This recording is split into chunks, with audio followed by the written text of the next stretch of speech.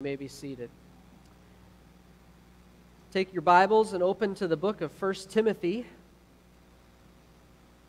1 Timothy chapter 3. We'll continue our study here in the book of 1 Timothy. The study is entitled Foundations for Faithfulness as we look at the blueprint for the church, how Paul and the Lord, through Paul, uh, instructs us uh, to behave in the household of God, which is the church of the living God, the pillar and the buttress of the truth. Our text this morning, the message is entitled Exemplary Oversight. Exemplary Oversight. 1 Timothy chapter 3 verses 1 through 7. Hear now the words of the living and true God. The saying is trustworthy if anyone aspires to the office of overseer, he desires a noble task. Therefore, an overseer must be above reproach, the husband of one wife, sober minded, self controlled, respectable, hospitable, able to teach, not a drunkard, not violent but gentle, not quarrelsome, not a lover of money. He must manage his own household well, with all dignity, keeping his children submissive. For if someone does not know how to manage his own household, how will he care for God's church? He must not be a recent convert, or he may become puffed up with conceit and fall into the condemnation of the devil. Moreover, he must be well thought of by outsiders so that he may not fall into disgrace, into a snare of the devil. This is the word of the living and true God, and it is trustworthy in every point. Let's pray. God, shape us by this trustworthy word. Convict us, teach us, encourage us, build us up and Lord, I ask that the words of my mouth and the meditation of my heart would be pleasing to you, my Lord, my rock, my redeemer. Amen. Exemplary oversight. I want to give you another list this morning pastor, brother, priest, deacon, father, vicar, rector, chaplain, abbot bishop, minister, overseer, elder, presbyter, archbishop, cardinal, patriarch, pope, preacher, apostle, evangelist, and by far my favorite, preacher boy.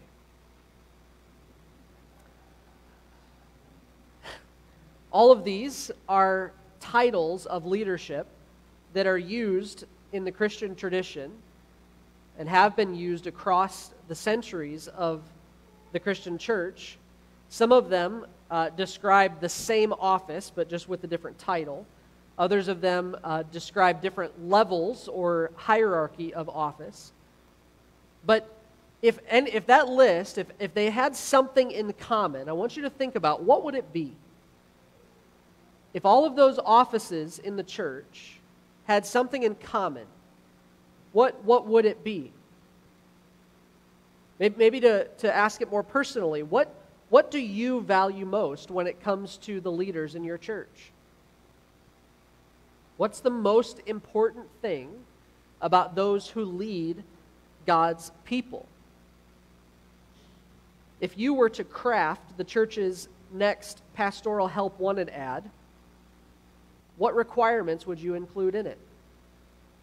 In the job description or in the, in the necessary qualifications? What things would you list out as important, as vital for those who are going to lead the household of God?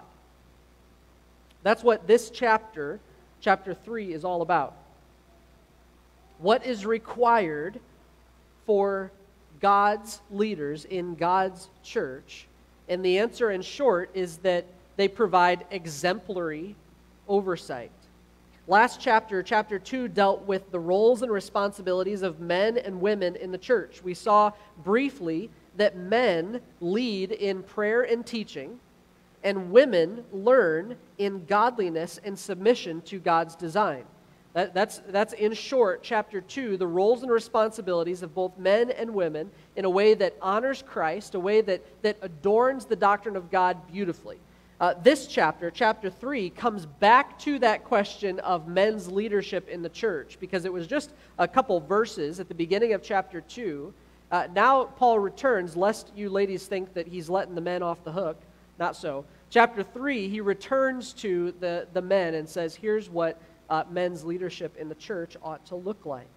This foundation for faithfulness in God's church is this.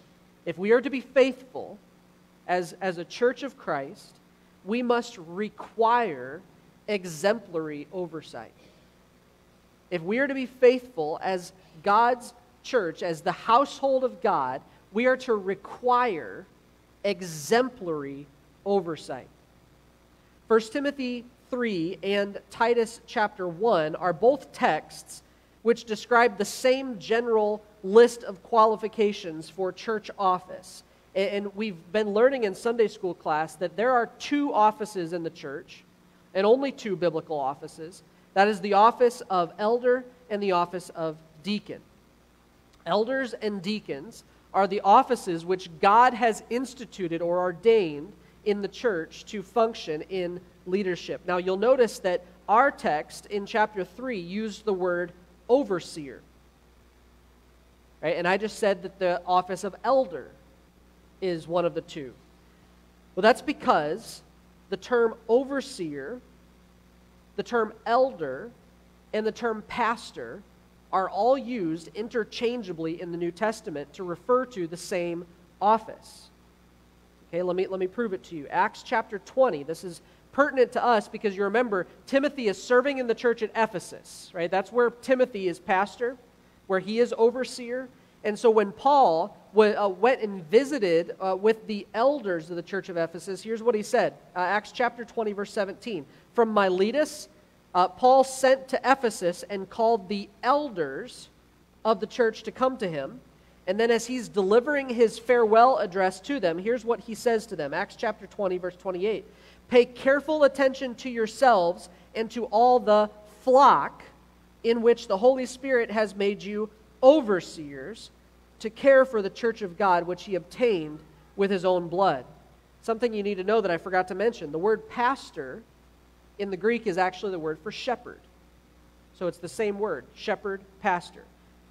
Okay, so what Paul says to those elders in Ephesus is that they are to be uh, to pay care, careful attention to the flock. Well, why is that? Well, because they're shepherds, they're pastors. The elders are pastors. And he says that, that, the, that the Holy Spirit has made them overseers in that flock which they pastor where they are elders. Do you see? All three of those terms used to describe the same office. Again, I can prove it in 1 Timothy 5. All three of these terms exist in this section of 1 Timothy, uh, sorry, 1 Peter 5, starting in verse 1. So I exhort the elders among you, as a fellow elder and a witness of the sufferings of Christ, as well as partakers in the glory that is going to be revealed. Verse 2 Shepherd the flock of God that is among you, pastor the flock, exercising oversight, exercising bishopry or episcopally uh, over the, the flock. I just made that word up. Not under compulsion, but willingly, as God would have you. So, so if that's enough uh, to, to kind of just give you an idea, if I use the word elder today in 1 Timothy 3, it's not because I can't read and it says overseer. It's because throughout the New Testament, elder, overseer, pastor, all interchangeable for the same office. Okay, so I, hope we, we, we're on the same page there. The other office that Paul describes is in our text, which we'll get to in a couple weeks, and that is deacon. So we have elders, we have deacons. Now, I want to be clear about what I am doing this morning in opening up this portion of Scripture. I'm laying out what I believe to be the Bible's teaching on leadership, on what leadership ought to be in the church.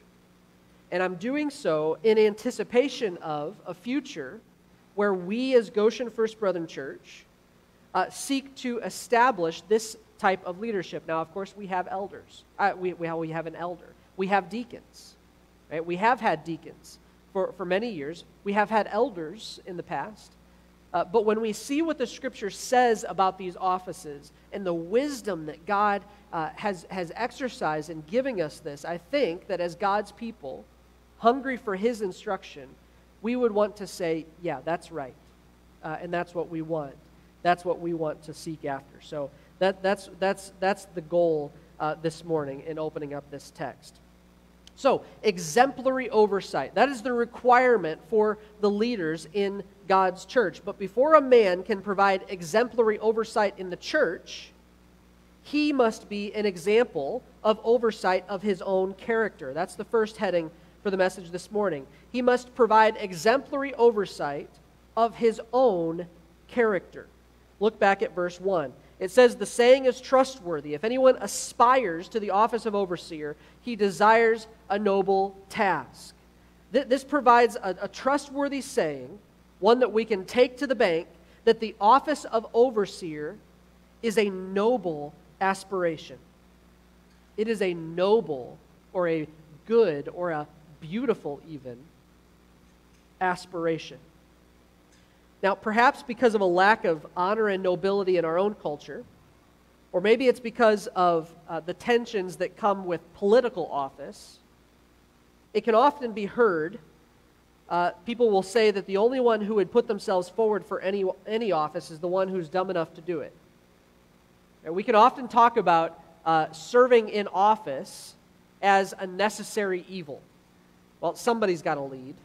And so it's the one who just you know, doesn't have enough sense to know how to stay out of that position. That's the one that'll end up leading us. Right? We say it jokingly, we say it kind of tongue in cheek, and yet uh, I think it speaks to a little bit of our heart when it comes to the offices of leadership in the church. Do we really believe that they are noble aspirations? If we do, then we would strive for them. If we believed that these were noble aspirations, then we would see uh, men striving for these things. That's what it means when it says, if anyone aspires to the office of overseer. The word aspire means that they reach for it, they're, they're seeking after it. Not only do they desire the office, but they are going for it. They're going to do whatever it takes to get there. They, they, have, they, they have a commitment to reach the conditions necessary to serve in that office. Now, notice it says, if anyone aspires. But what you need to know is in the Greek language, that word anyone is in the masculine gender, which reminds us that this office of overseer is reserved for men in the church and men only. Women are not permitted by Scripture to serve in this office. We, we, we saw that clearly back in chapter 2. Verse 12 I do not permit a woman to teach or to exercise authority over a man. Therefore, the office of overseer, which is exercising authority in the church, cannot be filled uh, by a woman. So it is men who are to strive after this particular office, seeking after it, longing for it. This office is a good and noble thing. It's something that, that we should value greatly. Too often, men will fall into one ditch or another on the side of this road. Either we will fall into the ditch of just wanting to serve in the background, right? We'll say that the, the most value, the most honor is in serving behind the scenes, in doing the things that nobody will ever see. And is there value to that? Of course there is, right? Uh, but we will say uh, that that's actually the leadership that matters, is the leadership that is behind the scenes. So that's one ditch that we can fall off into. The other ditch is that men can sometimes uh, have ambition to just simply seek to be at the top and to never serve and to never do the things behind the scenes. Sometimes men can be so ambitious that we want to just have the position without the condition of character that is required for that office. We can aspire to the position and not to the office. Those are two ditches. So what's the what's the middle of the road? What is it that we ought to be seeking after? Where ambition seeks position only, aspiration seeks the condition of life that would be an example for others to follow. And an overseer must do that. An overseer must seek to live a life in a way that is exemplary toward others. This is why it says, verse 2 an overseer's character must be above reproach. Therefore, he says, an overseer must be above reproach. Now, the paragraph here uh, begins with uh, two words. He must, therefore, the words he must is one word. Uh, he must, therefore. That word, therefore, uh, tells us that the following list of qualifications are necessary because of the noble character of the office. Because the office of overseer is a noble office, is a high and, and, and honorable office, it follows that his character must fit that office. This is something that, that you would think is common sense and yet has been lost to the wayside. Leaders must have the character that fits their office. Period. Therefore, it says he must. He must. Not that he should, not that it would be nice if, not that take what you can get. It says an overseer must. It is a requirement, a base level requirement for anybody that would aspire to this office. These characteristics then are non negotiable. Now, above reproach serves as sort of like an umbrella qualification for all the, the qualifications that follow. So he must be above reproach in every other qualification that is listed here. But being exemplary, being above reproach, does not mean that there won't be instances of failure in some of these things. In other words, being above reproach does not mean that the man is without sin. It does not mean that the man never uh, has, has faltered in any of these things. What it does mean is that when that has happened, that man knew what to do with that sin in repenting and trusting Christ. Right? So not only is he to be an example of righteousness, he is to be an example of repentance for sin. So we're not looking for perfect men to serve in the office of overseer. We're not looking for the, the ones that, that literally have not sinned in the last five years. That's not the qualification. What it is is that if you were to look at that person, if, if you were to announce to the church, hey, we're, we're considering this man for the office of elder, the office of overseer, there would be not a single person that could come and lob an accusation at him. He is the type of person to whom accusations just don't stick. Because even if somebody makes an accusation, the rest of the people say, you, No, you're kidding. You don't know the same man I do. That's not that man. He must be above reproach, not sinless, but an example of righteousness and repentance. So he must be a man who is above reproach in the following qualities. There are 11 of them, and we'll try to take them one at a time uh, as quickly as we can. First, he must be above reproach in being a one woman man. It says the husband of one wife. Literally, the Greek reads that he must be a one woman man. Now, remember chapter 2's emphasis on God's design for marriage being reflected in the church. One of the bedrock important things that we do as a church of Christ is to reflect to the world what God's good design is in man and woman. We are his image bearers. As, as humans, we are image bearers of God. And part of that bearing of, part of bearing that image is that we reflect the, the, uh, uh, the, the godly union between man and woman and the roles and responsibilities that God has laid out for both. And so, it should be no surprise to us that when Paul gets to the point where he's describing who leads the church, that he must be the type of man who is exemplary in reflecting that relationship. That the, that the bedrock ground or first place where this man's character ought to be proved is in his marriage, is in his relationship with his wife. How he treats his bride is an indication of how he will treat Christ's bride, the church. Let me say that again. How he treats his bride is an indication of how he will treat Christ's bride, which is the church. Now, what is required in order for us as the congregation to see if a man meets this, meets this uh, qualification? We've got to know the man well enough and know his relationship with his wife well enough to see whether he really is this exemplary uh, picture of oversight. And Sunday morning will not cut it. Right? Anybody can, can put on a, a qualification for a, few mo- for, for a few hours on Sunday morning.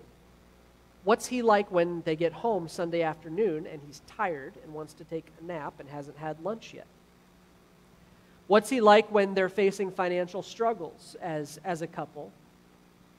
What, what's he like when there is some sort of a crisis? What's he like when he has to give up some sort of a vacation or some sort of a personal uh, day out of golfing or fishing? What's he like uh, when it comes time to make a tough decision about where they're going to move or where they're going to live or about what job he's going to have? What's he like when he first walks in the door after work at, at 5.30 in the afternoon or in the evening? What's he like in those next uh, uh, 20 minutes? Well, how do we know that? Well, well, we'll see further on down the list that it involves that the church spend time together. It involves that the, the, the church knowing the man well before they call him to the office of overseer. Now, this particular requirement here has been the, con, the, the, the, uh, um, the uh, arena of discussion for centuries. In fact, since the church began, there has been conversation about how this plays out. And one commentator said there are no less than 11 different traditions that have been tied to uh, the office of overseer in the church and relationship with a woman. And it, and it spans all the way from he must, he must be married and only be married to one wife to he must never have been married and must never marry at all.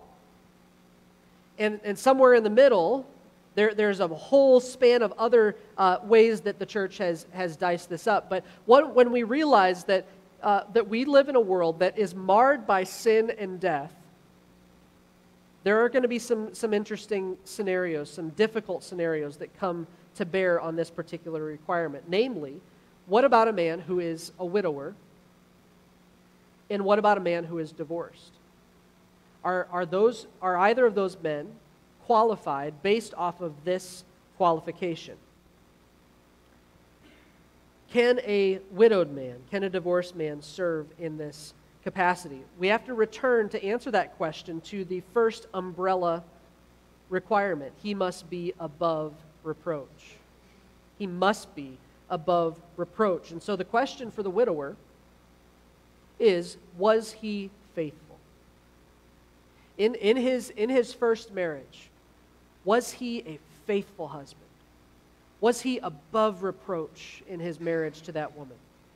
If he is remarried, because that is permitted in the scriptures, if he is remarried, is he now above reproach? Is he now a one woman man? In other words, does he not have eyes for other women? Is he not constantly roaming the, the, the, the, the, the, landscape? Is his heart fully devoted to that one woman. He must be above reproach in that way, and the death of a spouse does not disqualify him uh, from the office of overseer. The, the, the situation of a divorced man is a bit more complicated. And the reason I say it's complicated is because the scriptures lay out a scenario, albeit a, a rare scenario, where a, uh, where a permissible divorce has taken place, and that is in the case of infidelity. The, the scriptures lay out a scenario where an unbelieving spouse abandons a believing spouse, and the scripture says to let, let them go, and they are not bound. In that case, is that person disqualified from serving in the office of an overseer. I think as I, as I look at this, this case, I think that there, we, we have to leave the possibility open for that type of thing to happen. Because if the scriptures can envision a scenario where a man is blameless, is above reproach, and yet his marriage ended in divorce because of the sin of his spouse, then we are not free to, to hold a requirement on him that the scripture doesn't. Now, that being said, what would be required for the church to say uh, uh, with, without any qualification that that man was above reproach in that relationship? What would, what would be required for the congregation to know for certain that he did not have a hand in the dissolving of that marriage? Well, it would mean that the congregation had a front row seat to that entire relationship. It would mean that that, that congregation was a part of every step that took place as the marriage was disintegrating and as the spouse was, was abandoning him. It would mean that the man was above reproach at every point and every turn leading up to that divorce. And the, the, the fact is, friends, that in a world of sin where a marriage is binding two sinners together in a marriage, that rarely happens. It is rarely the case that one spouse, that the man would be, uh, would be above reproach and would be blameless. Why? Why is this such an important qualification?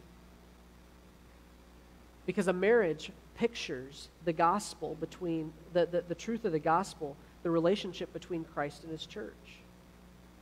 If a man who is serving in a leadership role in the church does not have a good picture of that relationship, how can he be an example to the church? And even more than that, verse 7 of our text tells us that not only is he to be an example to the church, but he is to be well thought of by outsiders. How, how can a man serve well in the church if constantly those who are outside of the church are, are making uh, side, sideward glances and, and, and kind of under their breath mumbling, well, you know what his life is like. Yeah, we know what his wife is like at home. I, you know, I don't know how he gets along serving in the church because, man, we know what, we know what happens when the doors close at their house. That's, that's a distraction on the ministry of the church. That's a hindrance of gospel ministry, and that ought not to happen. A man must be above reproach in his marriage.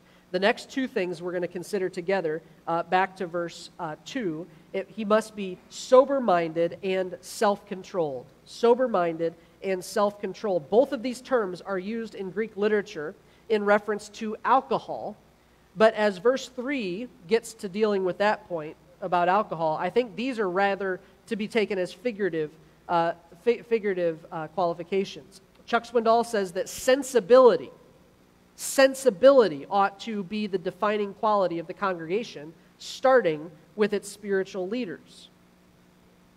He must be a sensible man. If, if someone can be sober minded and self controlled, what would be the alternative? Right? Well, he's drunk minded and controlled by someone else or something else. So, a, a, scripture points to the necessity of a man serving where he is in control of his own mind.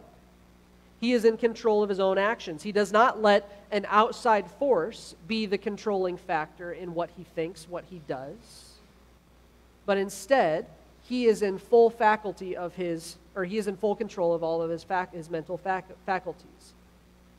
He is not bound to some other substance when it comes to his mind. He is not intoxicated with some other uh, substance or some other controlling factor. Now, Scripture points out one such controlling factor as passions. We, we often think in terms of uh, intoxication and substance abuse as you know, drugs, alcohol, that sort of thing. The scriptures lay out more often that passions are what control our mind and our actions, even more than things like alcohol.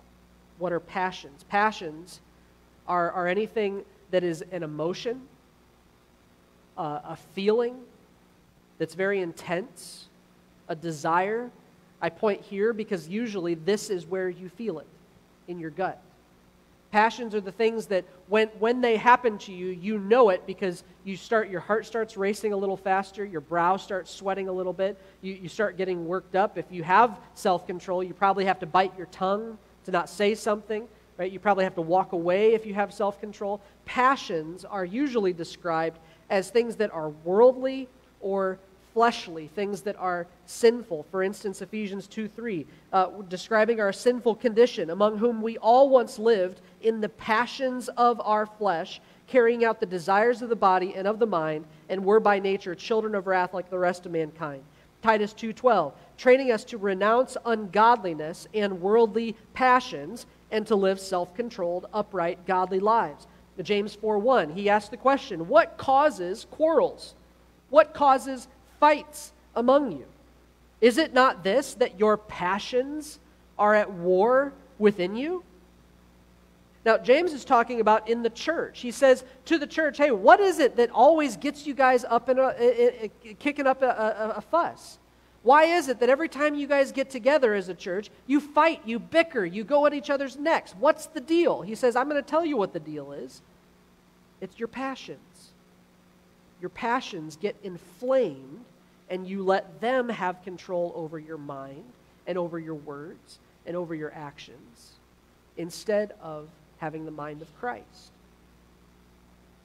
Passions are those strong emotions like anger and like lust and shame and even excitement or jealousy or selfishness. Passions can be a controlling factor in someone's life, but for an overseer, he must be the example of not letting those things guide him or steer him. He must be a stable influence who is self controlled and not given over to other substances. He must be, fourthly, respectable. Respectable. This is the same word that's used up in chapter 2, verse 9, referring to women's apparel. They must dress in respectable apparel, and overseers must be respectable men. The word means orderly. He must be someone who is not chaotic. He must be stable. When you look at that person, they, they're the type of person that seems like they have things together. Now, in our world, it's really weird, okay? Our world actually values having a life not put together. If, if, you're, if you're on the, on the Facebook, uh, or if you're, you're hip with the current young people trend stuff, uh, you, you, find out that, that it's actually seemed, it seems to be uh, um, authentic, or it seems to be a mark of good character to be able to, uh, to um, admit how much you're struggling today. Right? Like they, I don't, I don't know if you're not on if you're not on social media this will make no sense to you women actually take pictures of themselves just out of bed and with, with a hashtag of woke up like this with a smile on their face, as if you're supposed to applaud them for the way that they look when they just have slobber running out their mouth and their hair is in 13 different directions. Right? There, there's there's a, a case, especially with men, where it can be seen as noble, where it can be seen as virtuous to admit how much of a mess we really are. That's been, that seems, well, he's, he's real. He's somebody who just, he, he's just, a, he's just a, an authentic person. Well, Paul says that somebody who is constantly riding the struggle bus in their life is not qualified to be a leader in the church. He must be somebody who is respectable, who has an orderly life, who you look at and you just say, he just got things together. Things just fit. It doesn't mean that things don't happen. It doesn't mean that things don't, don't occasionally go awry. Of course they do. It's life. But when they do, he handles it in a way that, that we could say, yeah, that's an example of, of how I want my kids to handle that situation. He is respectable, he is hospitable. It says, number five. Literally, the word hospitable means he has a love for the stranger. He has a love for other people. He is hospitable to others.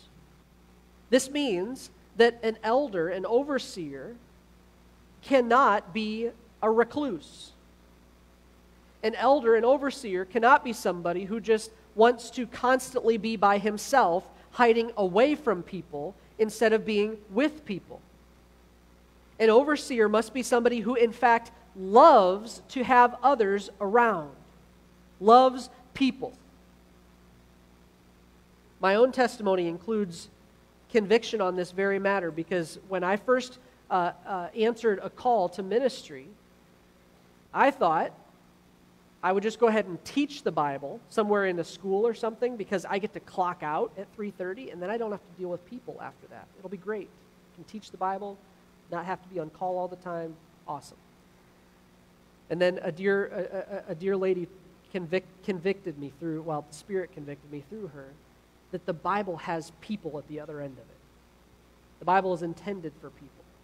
The Bible is intended to be shared across the table from each other. The, the Bible is intended to be in conversation with one another. It is the body of Christ that is the church. We are together. You cannot have an overseer or an elder who constantly wants to be in their study by themselves, who does not want to be out among folks about getting to know people, getting in, involved in people's life. He must be hospitable, he must invite people into his home.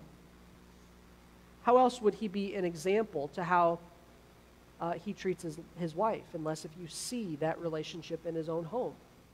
Just let your eyes jump down to verse uh, 4. How will you know if the man manages his own household well if you never step foot into the man's house? I wonder how many of us know of a church that went, their pastoral search committee uh, told the, the candidate, hey, we're coming over for supper on Tuesday. And then we're going to come over for supper again next Thursday. And how about on church, uh, after church on Sunday for lunch?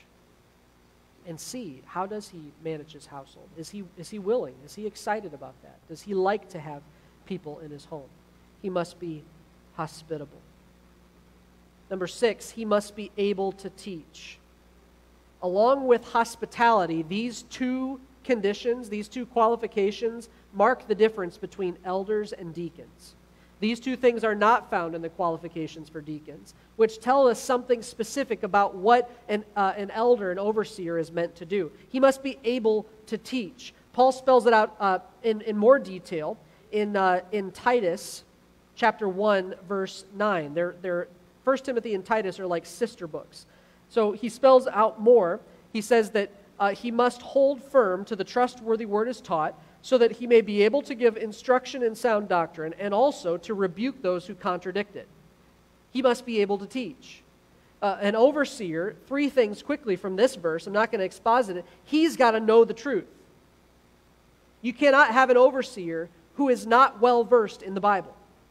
You cannot have an overseer who does not hold fast to the trustworthy word as taught. This also means that you cannot have an overseer who is constantly coming up with new ideas about what the Bible means.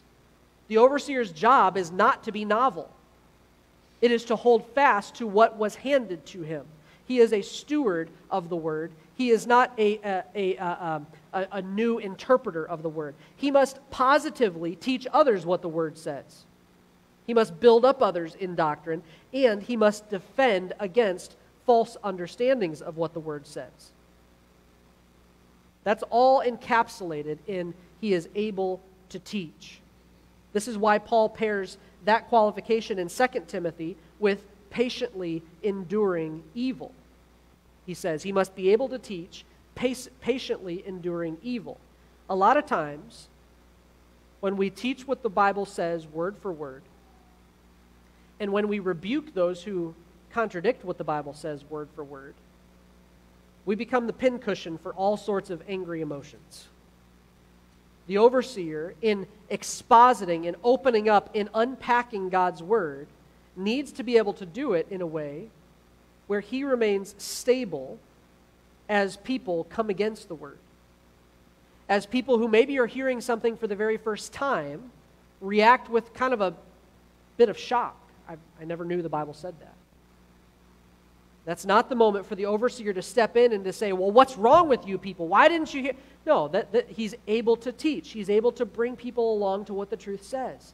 And then when somebody comes and says, No, I disagree, that is not what the word says. In fact, you're a bigot for thinking that that's what the word says. What's wrong with you for thinking that the Bible teaches that? He doesn't lose his cool. He doesn't lose his head. He remains respectable. He remains self controlled and sober minded and lays out verse by verse what the scriptures say. So, if we insist on these qualities so far in the church's leadership, what would we have? Well, we would have a faithful example that could be followed in practically every circumstance you can imagine.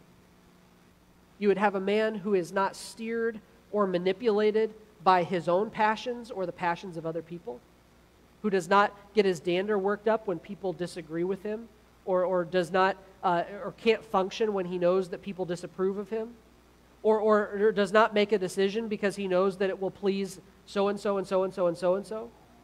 You have a man who is able to walk through the Word of God and explain what it says for God's people in a way that is understandable, in a way that applies for, to, to daily life. And, and you would have a man who is able to protect the flock against false understandings when they come up. This is the type of man who must lead God's church. Those are the positive requirements. Look at number uh, verse 3, number 7. He must not be a drunkard Literally, he must not stay near wine. He must not be long at drink. If we ought not to be controlled by our passions, it makes sense, then we shouldn't be controlled by alcohol or any other intoxicating substance. This is the consistent teaching of the entire Bible. Drunkenness, hear me, drunkenness is always, everywhere, condemned as sin drunkenness, being controlled, doing things that you would normally not do because alcohol is involved, is sin. Full stop, no questions. Being controlled by another substance disqualifies a man from the office of overseer. Now, does that mean that, that because you know he, he went to that party one time in college back then, does that disqualify him? Well, of course not. Did he repent of that? then of course he's, that doesn't disqualify a man. But a, a, a character quality of drunkenness absolutely disqualifies somebody. This does not mean, though, that the man must be a teetotaler.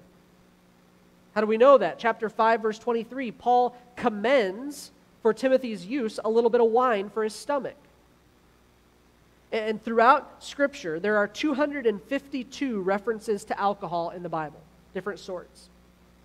And of those 252 references, 149 of them, or about 59%, are actually positive references to alcohol, being a sign of God's blessing or as a part of daily use.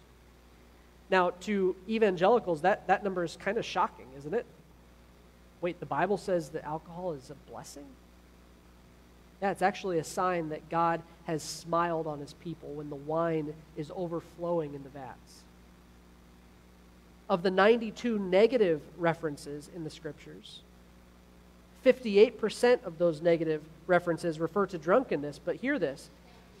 The other 42% of negative references refer to other sins that are brought about because of alcohol. Right? So, so you have a percentage, a, a, a, a, fraction of the instances of alcohol in the scriptures describing how alcohol can make you do things that you normally wouldn't do and that would be a sin to do. For instance, verse 3 he must not be violent, but gentle, not quarrelsome that word not violent means that he ought not to be a striker, or figuratively, he ought not to be somebody who just likes to argue all the time, is constantly picking a fight with somebody. Uh, the, the, the tenth one we compare with that, that he's not quarrelsome. This word is he's not a brawler. He's not constantly swinging his fists in whatever direction he can think of, whether his fists literally or his, his fists with his words. And those two qualifications oftentimes are brought about by the use of alcohol, are they not? Oftentimes, somebody will, will, will, will be more pugnacious or more violent when they've had something to drink than if they weren't. What ought we to be then? The ninth one is gentle. Notice how gentle is sandwiched right between violent and quarrelsome. not violent, not quarrelsome, but gentle. So, some people are kind of like a loaded gun with the safety off, and they're just looking for some direction to shoot. This type of person only knows how to deal with problems by fighting it out. And by the way, everything is a problem worth fighting for. Rather, the overseer must not be, he, he must not be that way. He must be reasonable. He must be slow to anger. Philippians 4 5 says, Let your reasonableness, same word as gentle, let your gentleness be known to all. Now, keep in mind that part of the job of an overseer is to correct false doctrine. Part of the job of an overseer is to, to, to uh, rebuke those who have fallen into false teaching. So it doesn't mean that he's conflict avoidant. It means that he deals with conflict in a gentle way, in a reasonable way, in a nonviolent way, in a way that, that seeks the truth, in a way that is loving. Last on our list is that he ought not to be a lover of money. A lover of money. Flip over to 1 Timothy 6. Same book, different chapter. 1 Timothy 6, verses 9 and 10. Actually, verse 8. He says, But if we have food and clothing, with these we will be content. But those who desire to be rich fall into temptation, into a snare, into many senseless and harmful desires that plunge people into ruin and destruction. For the love of money is a root of all kinds of evil. It is through this craving that some have wandered away from the faith and pierced themselves with many pangs. And so, therefore, an overseer must not be a lover of money. Does that mean that an overseer must be poor? That's not what that means. It's not that he must not have money, it's, that he must not love money. And what's the opposite of love of money? Hebrews 13:5 says contentment. 1 Timothy 1:8 says contentment. Why? Why is this such an important thing? Because as Paul says to Timothy in chapter 6, the love of money is the, the root of all kinds of evil. This is why in the list of 10 commandments, you get down to the bottom one. What's the 10th commandment? You shall not covet. You shall not covet. And then he lists all kinds of things you shall not covet. Why? Why is that the last? Because coveting, desiring what is not yours or not yours yet, leads to all sorts of other sins. Well, I want my neighbor's car, so I'm going to go take my neighbor's car. I want my neighbor's wife, so I'm going to go take my neighbor's wife. I want my neighbor's job, his reputation, so I'm going to go take it. I'm going to push him down. I'm going to raise me up. I want the power of God, so I'm going to go put myself in God's position. I'm going to create an idol out of my own self. Covetousness, the love of things which are not yours, is the beginning of all kinds of sin. And so it must not be true of the overseer. If he is not content now, he will not be content when he is serving. This is a qualification before he steps into the office of overseer. If he is not a person who is content with his lot, then he will only use the position of overseer to gain more. He will only use it for filthy lucre. Uh, lucre. Now, this does not justify the prayer of some churches where they uh, pray, Lord, make our pastor poor and humble. We will keep him poor and you keep him humble. Paul says clearly that a worker is worth his wages. So you ought not to look at this qualification and say, therefore, uh, we're going to make sure that pastor is always below the poverty line so that way he never becomes a lover of money. We're just going to we're going to take care of that qualification for it for him. No, he must be a man who is content with whatever the Lord has provided in whatever season. A greedy man will only cause issues later on. Well, we'll get to the other qualifications uh, next week, but the biblical office of overseer, we have seen this morning so far, is a noble role of servant leadership that requires a man of noble character. The reason is he's an example to the church. And so his oversight must begin with his own life. I asked you the question if you were going to write out the, the description for the next pastor of this church, the next overseer, elder of this church, what would you put in it? Would you list 1 Timothy 3? Or would you have things like, he must be a charismatic leader? He must uh, be constantly uh, available. He must be uh, an expert at relating to the community around him, being able to reach out to all of the neighbors, being able to, to have you know, three or four hobbies so that he can relate equally to everyone in the congregation. He, he must be the type of person that is, is, is always, uh, always up and never down. What type, of, what type of person do you envision when you see a pastor, an elder, an overseer? How will we know that that person has such a character? The answer is that these types of leaders are shaped, they are discipled, they are cultivated, they are not imported. I, I will go as far as to say that it is next to impossible to truly know the character of a person from his resume or from his online sermons or even from the references that he has listed on his application, because guess what? He picked those references. How do, what do you do then?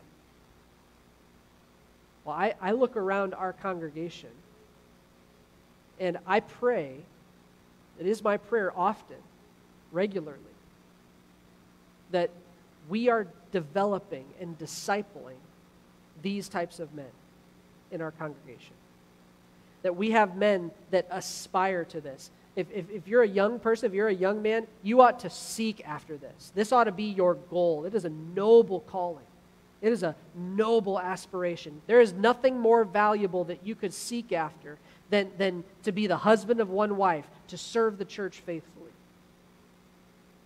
I, I, I long to see young people that for, throughout their ages, they grow in their, their wisdom and knowledge of the scriptures. They grow in their character. And then one day, we, as a congregation, look at that person and we say, you know what? God has blessed you. God has really worked out your salvation with fear and trembling. We want you to lead us. This is, this is a great calling that we ought to aspire for, and we ought to be raising up the next generation. For the, the congregation, we must know these qualifications and value nothing else higher. We must not be looking for any other thing in a pastor beyond these things. He might have other qualifications, he might have other perks, other things that are nice, but if he doesn't have these, he is not even to be considered. And as a congregation, we must know that. We can't leave it up to the man himself to say, yeah, I, I, qualify. Don't worry about that. I qualify. No, you need, we need to, to scrupulously look into this because how many times have churches been held hostage to a man who is not qualified? Right? Somebody who they, who they have imported from a seminary somewhere because we thought that because he had those credentials, then he therefore qualified for the ministry. Right? That's, that's not the design. So we look to these things as, as the qualities that all of us are seeking after. Here's something I'll, I'll end with this that you need to know about this list here. Every single one of these qualifications can be found elsewhere in the New Testament to describe believers in general, not, not just leaders. Every single one of these qualifications is commended elsewhere of believers, not just leaders. What does that mean? That means that the leaders are the examples of the things that are required of all of us. So we look to this and we say, Lord, help us. Help us to be these type of people. Help us to set forward these types of people to lead us in the days ahead. Let's pray. Lord, we believe that you are faithful to lead us and guide us, especially as we hold fast to your word. Help us not to look in other directions, but help us to be content with your good design in all things. And Lord, we ask that you would uh, grow us as a household of faith. uh, that you would provide for us such people in positions of leadership that we might be faithful, increasingly faithful in our day and age, and that we might be an example of how your grace shows up in a church. It's in Jesus' name we pray. Amen. Let's stand and.